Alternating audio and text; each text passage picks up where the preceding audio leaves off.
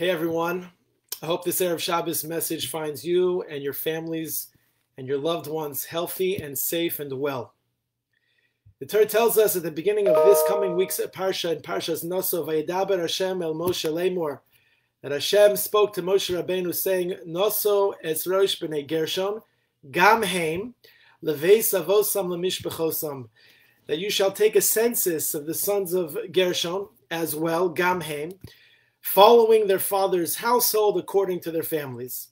Now, the Meforshim, the commentaries point out that the words gam heim as well, they appear to be redundant. After all, since Hashem had previously instructed Moshe to count the sons of Kehas towards the end of Parshas Bamidbar, we automatically know that now that he's instructing Moshe Rabbeinu to count the sons, the Bnei Gershon, that they too are to be counted as well. So, as always, the Torah's perfection and limitless teachings justify the question what are we being taught from these seemingly superfluous words, which stress that also the sons of Gershon are also to be counted? Rav Moshe Feinstein famously suggested that whereas the sons of Kahas had the privilege of carrying the holy Aron, they had the privilege and the zechus to carry the holy ark, the sons of Gershon were only entrusted with carrying the seemingly less significant curtains, the coverings and the screens of the Mishkan. And as such, the Torah here stresses that the sons of Gershon, the Bnei Gershon, are to be counted as well as the sons of Kahas, meaning that they are to be counted together in the same way, for they are equally fulfilling their unique purpose. And that even though carrying the fabric of the Mishkan involved perhaps less fanfare than the carrying of the holy Aron, the ark, it was no less crucial in any way, shape, or form. You see, everyone is created differently physically, mentally, emotionally, spiritually. Our strengths and our weaknesses are different from one another, as are our experiences and our struggles, our successes, our triumphs. And as such, our success in life cannot be determined by being compared to those around us. Our only measurement is to determine success as whether we could have done better based on our own potential, whether we have lived up to what it is that we were capable of doing, and to spend every single day of our lives trying to achieve and to unlock our greatness. This lesson, it resonates very deeply in the aftermath of a week of extraordinary chaos and bedlam and mayhem. I think Elie Wiesel said it best when he said, Wherever men and women are persecuted because of their race, religion, or political views, that place must, at that very moment, become the center of the universe. You see, George Floyd's unconscionable, ruthless, and wrongful death in Minneapolis was yet another painful reminder of how much we have yet to accomplish in the efforts to provide social justice and equality for all. As Jews, we know all too well of the pain of being castigated as the villains, of the pariahs of society, and the terrible horrors caused by unrelenting hate and anti Semitism. Injustices around the world, and all the more so in our very midst, in our communities, in our country, here in the United States, it demands peaceful unified protest of the highest order to bring about the change we know we need. We must use the power of our collective and our unified voices to bring about goodness and ethics and morality to this broken world. We must condemn, though, senseless and dangerous rioting and looting, which does nothing but divert attention and distract valuable efforts in the process of bringing about the real and the everlasting change that we so desperately need and so desperately want.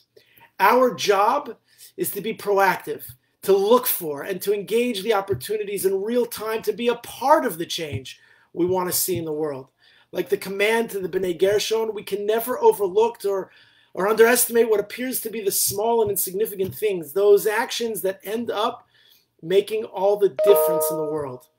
But sometimes what that means is that we need to find the strength and to find the courage to leave our comfort zones and to do what's unpopular what's nonetheless right, what's moral, what's just. And even if it means you're going to be cast off to the side as a person who does things that maybe is a little bit different than others. Take, for example, what took place in 1969 when black citizens were not allowed to swim in community pools alongside white people. So, Mr. Rogers, he invited a black police officer on the show of Mr. Rogers' neighborhood, and he asked him to join in and cool his feet in a small plastic pool, breaking a well known color barrier. And the unbelievable picture that was taken then of the four of their feet in this small plastic pool, a black officer and Mr. Rogers having conversation and dialogue, an unbelievable expression of humility and civility and togetherness and equality. And this conversation that was had in 1969 and animates us now. Or the story of George Thomas Shotgun Shuba. You see, George Shuba, who died in, in 2014, was not so well known. But who was George Shuba? George Shuba was a utility outfielder and he's a left handed pinch hitter who played seven seasons in Major League Baseball for the Brooklyn Dodgers. His seven seasons included three World Series as well as a World Series championship in 1955. He was the first National League player to hit a pinch hit home run in a World Series game. That's good for those of you who are not only sports fans, but like sports trivia. First National League player to hit a pinch hit home run in a World Series game. But that is not what George Shotgun Shuba is remembered for. What he's remembered for is what's simply known as the handshake. What was the handshake? So, in the afternoon of April 18th in 1946, Major League Baseball icon Jackie Robinson, he became the first black player in modern organized baseball when he made his debut with the Dodgers Montreal Royals farm team in their International League opener against the Jersey City Giants at Roosevelt Field.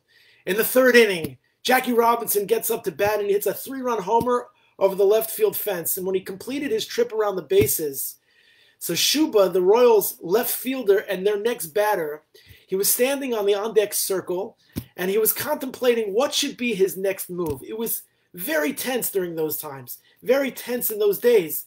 The racial segregation which took place that meant that in this moment, was he going to leave the batter's box and shake the hands and a fist bump and a chest bounce?